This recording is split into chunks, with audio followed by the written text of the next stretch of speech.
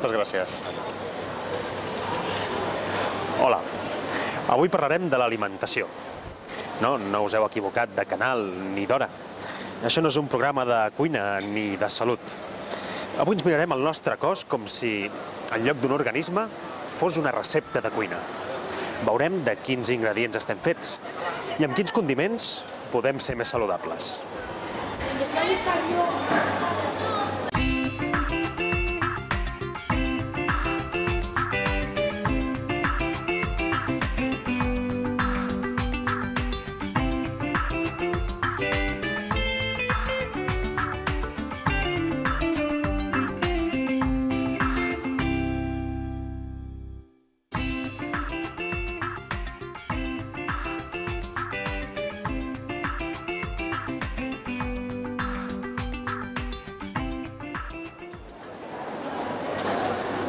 En certa manera, el cos humà és com una recepta de cuina. Tot el nostre organisme està fet amb els mateixos ingredients que, barrejats amb la mesura i la quantitat adequades, fan del cos humà un organisme gairebé perfecte. Ara bé, si escatimem algun dels ingredients, com ara les vitamines, o se'ns escapa la mà amb algun altre, com ara els greixos, podem tenir molts problemes. Avui coneixerem els ingredients de què estem fets. El nostre cos està format per diversos elements químics. Els més abundants són l'oxigen, el carboni, l'hidrogen i el nitrogen. Tots aquests elements s'agrupen a l'entorn d'estructures formades per cadenes d'àtoms de carboni, a les quals s'uneixen els altres elements. Les estructures resultants es classifiquen en quatre grans grups, segons les característiques que tenen. Els greixos o lípids, els hidrats de carboni o glúcids, les proteïnes i els àcids nucleics. El cos humà també conté una vintena d'elements minerals, diverses vitamines i, sobretot, aigua, una substància que representa del 60 al 65% del pes del nostre cos.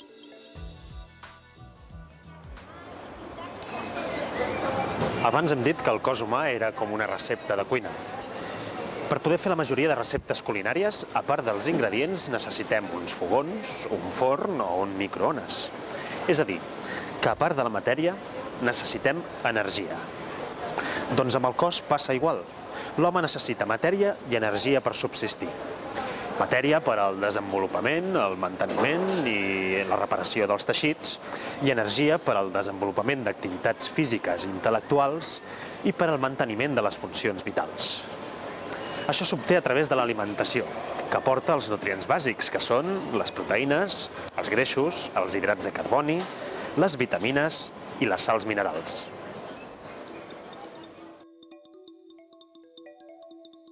Les proteïnes estan constituïdes bàsicament per carboni, nitrogen, oxigen i hidrogen.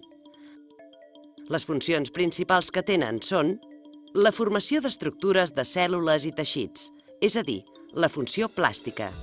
La funció enzimàtica, en tant que afavoreix les reaccions químiques que hi ha dins de les cèl·lules la funció immunitària o de defensa de l'organisme mitjançant la formació d'anticossos. La funció reguladora, en tant que algunes proteïnes actuen com a hormones. I la funció de transport de substàncies. L'hemoglobina, per exemple, és una proteïna que transporta l'oxigen a les cèl·lules. Els glúcids, que també es coneixen amb el nom d'hidrats de carboni, estan constituïts bàsicament per carboni, hidrogen i oxigen, i la funció principal que tenen és energètica perquè són la font principal d'energia per al nostre cos. A més, s'emmagatzemen en forma de glicogen o d'amidó, en el cas dels vegetals, per esdevenir una reserva energètica per al cos. També tenen una funció estructural, per exemple, ja que formen part de l'estructura dels àcids nucleics a dins de la cèl·lula o dels ossos i cartílegs.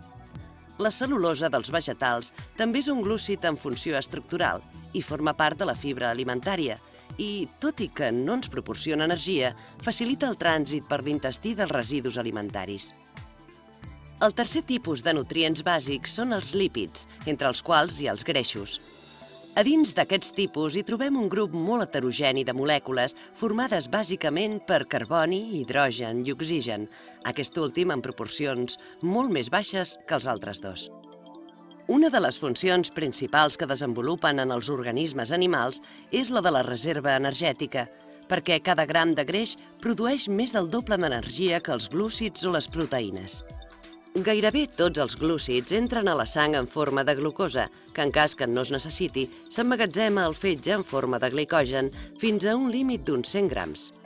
A partir d'aquesta quantitat, l'excedent de glucosa a la sang es transforma en greix, que majoritàriament es diposita sota la pell, en el teixit adipós, i constitueix una reserva energètica a llarg termini. A més, els greixos també compleixen una funció aïllant, ja que mantenen la temperatura del cos i impedeixen la sortida de calor interna. Els lípids també tenen una funció estructural molt important, perquè són un component fonamental de la membrana plasmàtica de la cèl·lula i de les membranes dels diferents orgànuls cel·lulars. I alguns també poden actuar com a hormones, amb la qual cosa adquireixen una funció reguladora. Finalment, les vitamines són proteïnes o greixos que l'organisme necessita en quantitats molt petites per funcionar correctament, però que no pot sintetitzar. I això fa que sigui necessari que en subministri de forma regular. Hi ha dos tipus de vitamines, les solubles en aigua o hidrosolubles i les solubles en greixos o liposolubles. L'aigua és imprescindible per al funcionament del nostre cos. Acabem de dir que el 65% del nostre cos és aigua. I segur que heu sentit sovint que cada dia és recomanable beure'n dos litres per recuperar la que perdem o la que gastem. Doncs és veritat, perquè l'aigua intervé en gairebé tots els processos del nostre cos.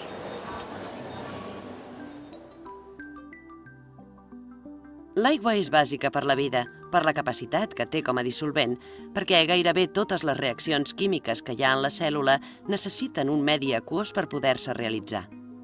A més, l'aigua també té una funció bioquímica perquè intervé directament com a reactiu o com a producte en moltes reaccions cel·lulars.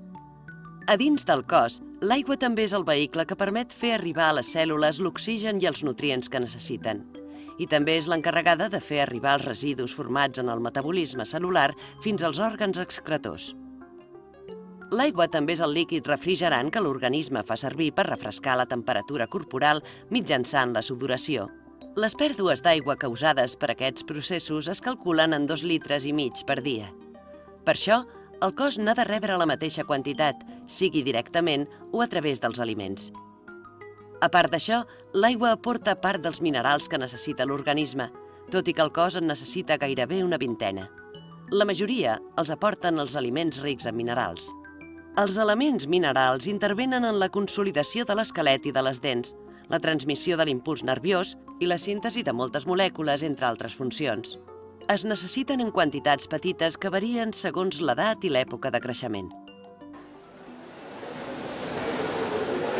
Els humans no prenem directament les proteïnes, els greixos o els hidrats de carboni, sinó que prenem els aliments, que estan formats pels nutrients bàsics i les substàncies com l'aigua, les vitamines, els minerals i la fibra alimentària. Però com definim què és un aliment i què no ho és?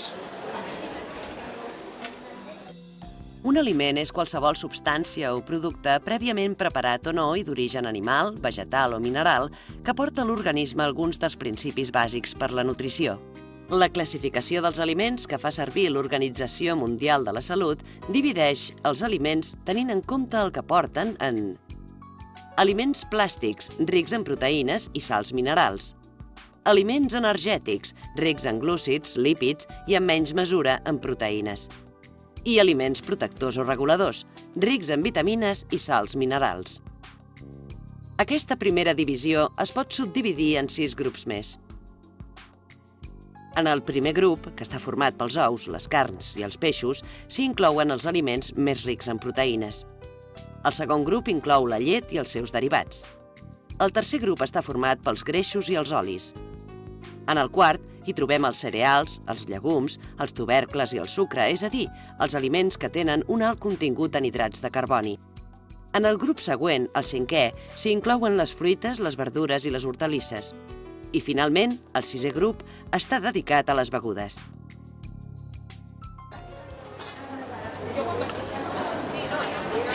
Una dieta equilibrada ha de tenir racions d'aliments de tots els grups. Del primer grup, el de les proteïnes, he comprat ous, perquè tenen una gran aportació proteica, especialment en la clara.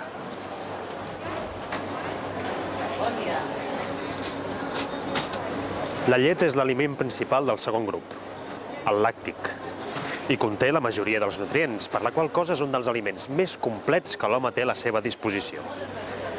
Entre els derivats de la llet, els més habituals són els formatges, els gelats i un dels més complets, el iogurt. El iogurt s'obté per fermentació de la llet gràcies a l'acció de bacteris. Té una composició similar a la de la llet, amb l'avantatge que és més fàcil d'assimilar i que ajuda a regenerar la flora intestinal. Els formatges més corrents són els que procedeixen de la llet de vaca, cabra i ovella. Aporten una bona quantitat de proteïnes, greixos i calci. Per la seva banda, els gelats afegeixen a la llet altres productes com l'ou, la fruita seca i la xocolata, que fan que el valor nutritiu del gelat algunes vegades superi el de la llet. Gràcies.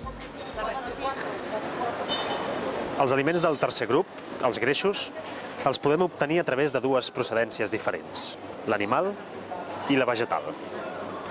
El llard i la mantega, per exemple, són d'origen animal, mentre que la margarina i l'oli són vegetals. Els greixos i els olis estan compostos gairebé exclusivament de lípids. Els greixos que a temperatura ambient són líquids reben el nom d'olis i acostumen a ser d'origen vegetal. L'oli d'oliva és molt beneficiós per al nostre organisme i, entre altres coses, afavoreix el metabolisme del colesterol. Amb tot, un excés en el consum de greixos provoca un augment de pes. Els aliments del quart grup, rics en hidrats de carboni, són la base de l'alimentació. Els principals són els cereals, els llegums i els tubercles, que durant segles han estat l'aliment principal de la major part de la humanitat i que, de fet, són els més recomanats per ser. Els cereals i els seus derivats han estat i continuen sent, encara que en un grau menor, la base de l'alimentació.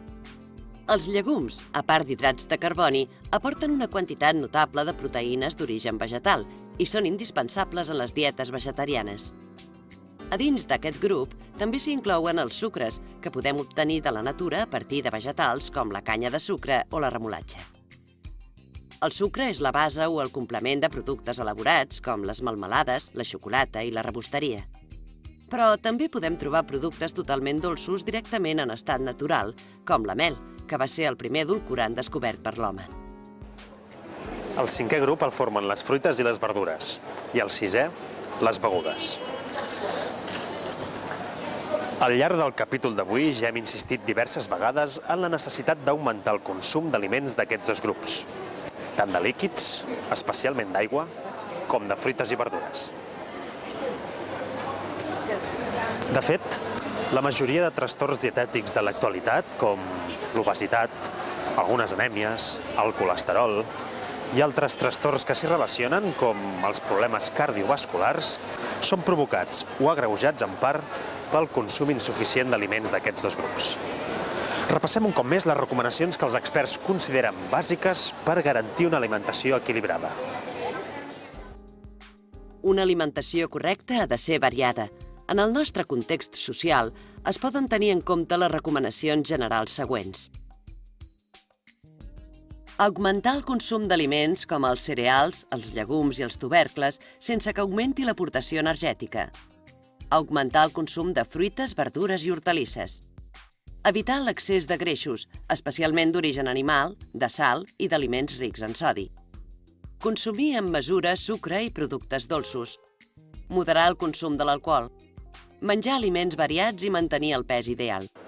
La nostra manera tradicional d'alimentar-nos, l'anomenada dieta mediterrània, es caracteritza per la presència de cereals, llegums, fruita, verdura, hortalisses, un consum moderat de carn i més gran de peix i alguns productes làctics. Com a greix fonamental, l'oli d'oliva i una certa quantitat de vi, que sempre haurà de ser moderada. Aquesta és una manera d'alimentar-se sana i equilibrada, però no és l'única possible.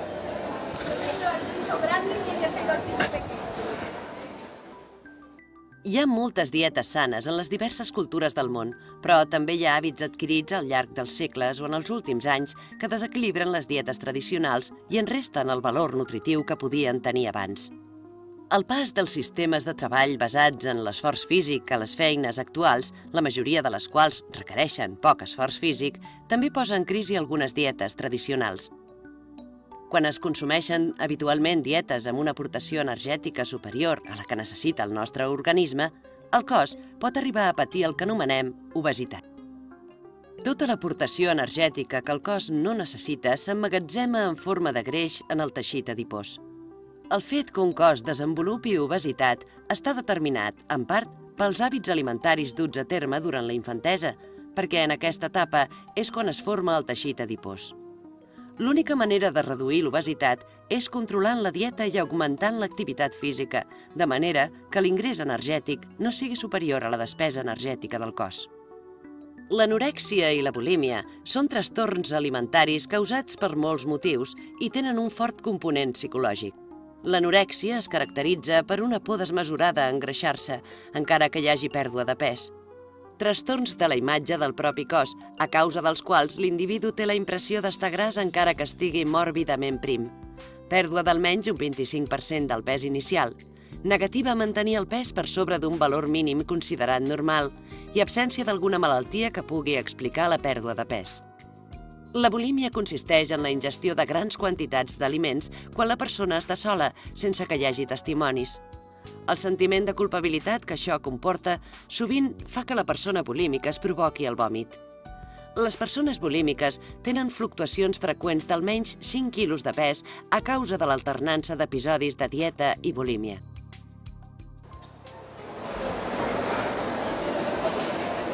Resulta tristament irònic que, mentre els nostres països L'abundància desmesurada d'aliments provoca estralls en els nostres cossos com l'obesitat, la bulímia, el colesterol i centenars d'altres trastorns digestius, encara hi hagi regions immenses del món on milers de persones es moren de fam cada dia, perquè no tenen accés ni tan sols a això. L'eliminació de la fam i la desnutrició són un dels objectius de l'Assemblea General de les Nacions Unides. Al voltant de 24.000 persones es moren cada dia de fam o per causes relacionades amb la fam en els països subdesenvolupats. Prioritzar polítiques per erradicar aquests problemes és una responsabilitat dels països rics i els ciutadans d'aquests països han d'exigir als governs que les promoguin i les compleixin. Avui acabem aquí. Ja heu vist que, efectivament, el nostre cos és com una recepta de cuina, on cada ingredient hi ha de ser en una mesura justa. I tal com fan en els millors programes de cuina, abans d'acabar, us deixo amb el resum del que hem vist, perquè vosaltres també pugueu ser els millors xefs de la vostra pròpia salut. Fins aviat. I salut!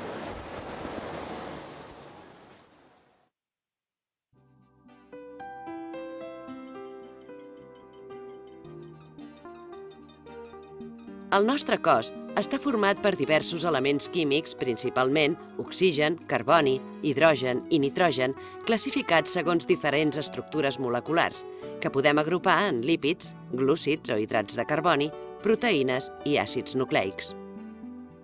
El cos humà també té una vintena d'elements minerals, diverses vitamines i una gran proporció d'aigua, fins a un 65% del total del cos. L'alimentació ens aporta els nutrients bàsics, que són les proteïnes, els lípids, els glúcids, a part de l'aigua, les sals minerals i les vitamines. Les proteïnes estan constituïdes bàsicament per carboni, nitrogen, oxigen i hidrogen i desenvolupen funcions plàstiques, com a formadores de cèl·lules i teixits. Enzimàtiques, perquè afavoreixen les reaccions químiques cel·lulars, immunitàries, reguladores quan actuen com a hormones i de transport de substàncies a través de la sang i del cos. Els hidrats de carboni o glúcids estan constituïts per carboni, hidrogen i oxigen i són la principal font i reserva d'energia per al nostre cos, tot i que també n'hi ha que tenen funcions estructurals. Els lípids o greixos, formats bàsicament per carboni, hidrogen i oxigen, són les molècules que tenen més energia. Els excedents de glúcids s'emmagatzemen sota la pell en forma de lípids, on alhora fan una funció d'aïllant tèrmic. Tenen un paper estructural molt important com a components de les diferents estructures cel·lulars i alguns també poden actuar com a hormones, amb la qual cosa adquireixen una funció reguladora.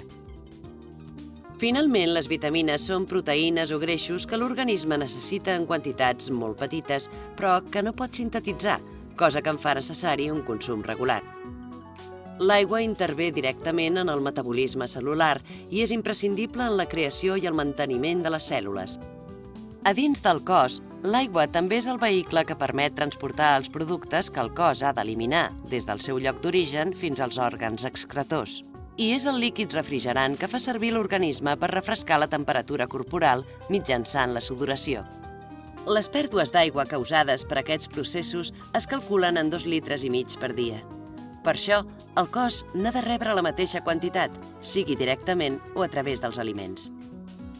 Un aliment és qualsevol substància o producte prèviament preparat o no i d'origen animal, vegetal o mineral que porta a l'organisme alguns dels principis bàsics per a la nutrició – la classificació dels aliments que fa servir l'Organització Mundial de la Salut divideix els aliments tenint en compte el que porten en aliments plàstics, rics en proteïnes i sals minerals, aliments energètics, rics en glúcids, lípids i en menys mesura en proteïnes, i aliments protectors o reguladors, rics en vitamines i sals minerals.